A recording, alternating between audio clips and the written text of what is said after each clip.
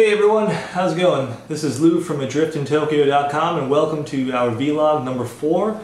I'm going to be talking about our question and answer section. I got a few questions. This is our first Q&A and I'd like to take a few moments to talk about it and give you some insight on my decision process, what I was going through at the time, and help you with that. So,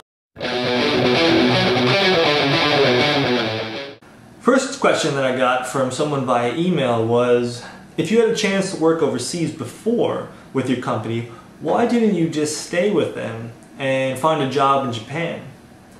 That's a pretty good question, and for, for those of you who don't know, I worked for about a year after graduating university. I went to I went to college for four years. I studied chemical engineering, and I graduated, got a job with a company, it's an international company. They work in the uh, energy sector and they offered me a job within the company out in Singapore, which is as far away as from the east coast of the US as you possibly go. It's an 18 hour direct flight from New Jersey in the States and they said, do you want to go to Singapore? I said, sure, I would love to go to Singapore.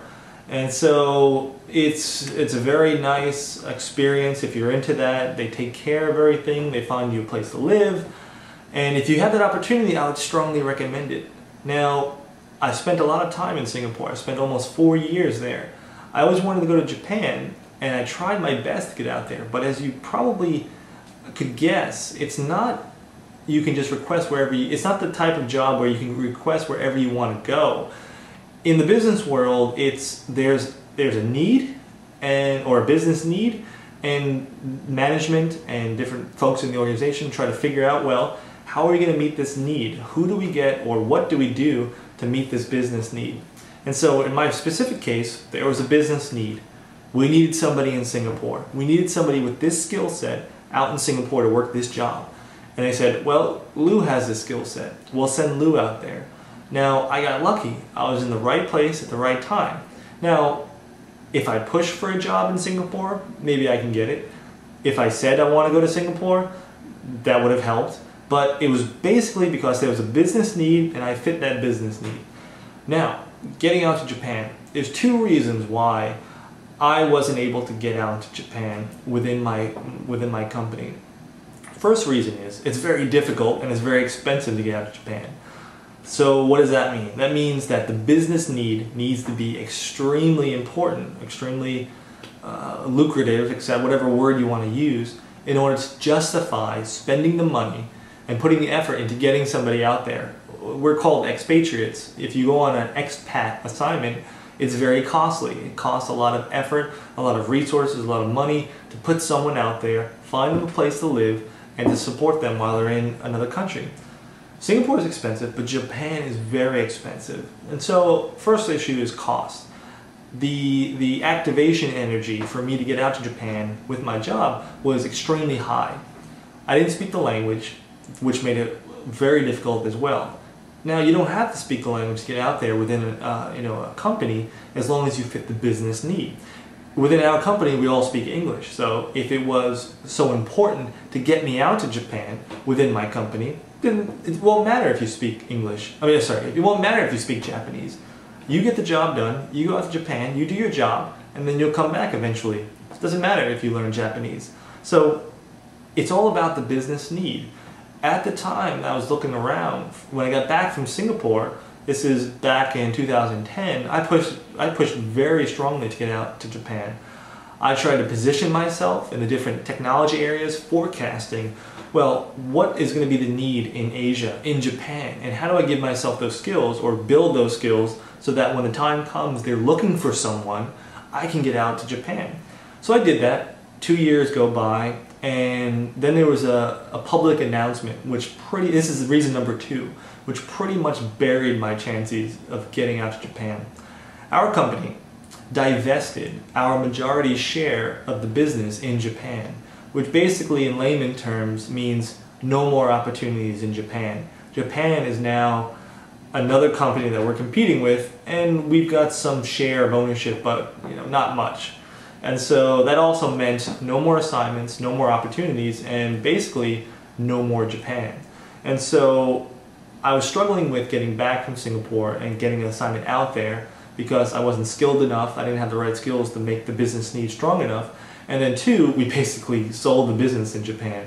So yeah, I would have loved to have an opportunity to work in Japan. I would have loved to be on another expat assignment, but you know, it just sometimes doesn't work out. If you have the opportunity to work overseas, do it. I highly recommend it. It's a great experience. But if you're looking to get out to Japan, it's very, in my opinion, it's very difficult unless you open up your own business or you, you, you know, there's a, there's a wonderful guy who does these podcasts. His and he does a lot of updates for GaijinPot.com. His name, uh, his name's Anthony Joh, J O H. Very friendly guy. I, I like reading what he has to write. I like watching his videos. I hope to meet him in Tokyo. His work is fantastic. What he talked about was taking, I think he sold an auto business back in Canada. I may be messing up some of the details, but he sold this business and either that financed his ability to move or that made it easier for him to move because then he can work you know jobs but use that as supplemental income whatever way it is he made it happen in his own way. If you want to make it happen with a company you can't just say hey i love japan. I want to go out there. I really like the language. I can i can even speak japanese. Why don't you put me out there? A manager who's either american european whatever they're focused on the business. They don't care in my opinion. They don't care that you learn you know Japanese. Do you know what needs to get done for the business to make this venture or this project successful? You can be the most crass, um, overindulgent, um, lack of Japanese knowledge American there is, but if you can get a job done and make the business successful, they're going to put you in Japan. Uh, question number two, why Hitotsubashi? So I touched upon this a little bit in my last, I think my first vlog or one of the first blog posts, but I probably should go over it real quick. Um, back in 2000, 2011, I applied to a number of MBA programs here in the States. I was looking for different programs that were like international in um, what would you call it? Like there's a lot of study abroad options with an international twist where you can earn a degree at a sister school or something like that. And so I applied to the Harvard Business School. I applied to Chicago Booth in uh, well, in Chicago, and I applied to the Wharton School in, you know, in up in Pennsylvania. I didn't get into any of those. Happy to share my experience, but basically the feedback that I got was my essays pretty much communicated the message of, wow, this guy doesn't want to just go to Japan for a semester or to go there for some cultural exchange. He wants to be in Japan. And so none of those schools thought I was a good fit for them with my career goals in mind. So um, it was a good learning experience for me. But then I started looking at other programs. I picked up the copy of The Economist, which is, if you're looking at MBAs, that's probably one of the magazines you've already looked at. But The Economist puts out this magazine called Why an MBA. I think they rank MBAs from one to hundred on you know on the global uh, you know global MBA programs, and they tell you which ones they think are the best. Now, it's no it should come as no surprise that a lot of the MBAs in Asia, not many of them are from Japan.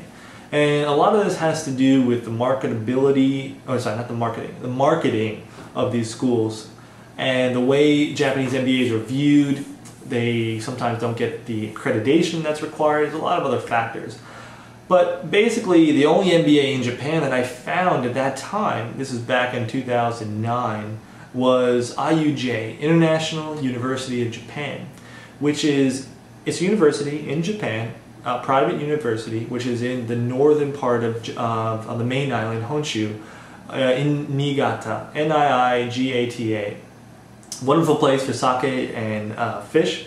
Uh, they have great rice up there, and they happen to have uh, just south of Niigata itself. There's a uh, university up in the mountains. Um, one of the famous mountains up there is uh, uh, Hakkai-san or Hakkai Mountains, which is another good brand of sake if you're interested.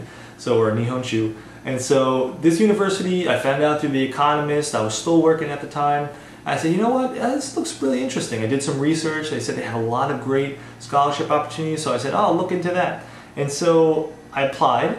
I got a half scholarship and um, I thought it was a good opportunity, but I said, you know, I need to really see the campus. So I went out there.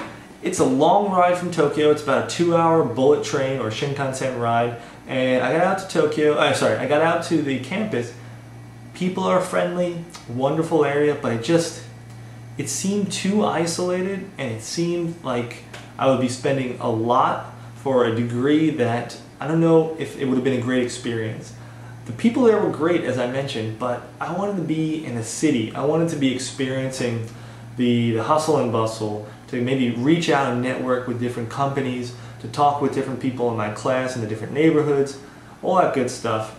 And it just didn't feel right. I visited the campus actually twice because I had a follow-up business trip through Japan before the divestment. And I went out there, I still, nothing, nothing really clicked. Again, wonderful people. I really like the campus, it's beautiful, but it just wasn't the place I wanted to be. So I didn't accept the offer. I said, you know, what am I going to do now? I'm, I'm, I'm basically spinning my wheels. It's going to be 2011, 2012 before I know it. Well, sorry, it's going to be 2012 before I know it, and oh, I haven't even picked a place to go to school.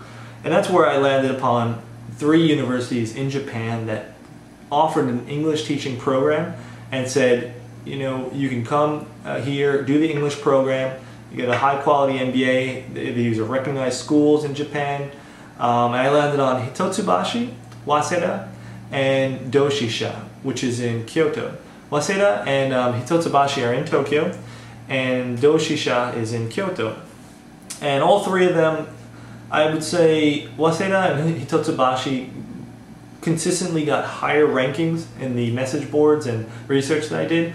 And Doshisha, which is relatively new in Japan, um, that got slightly lower rankings, but I attributed that a lot to its it's a you know relatively new kid on the block type uh, feel.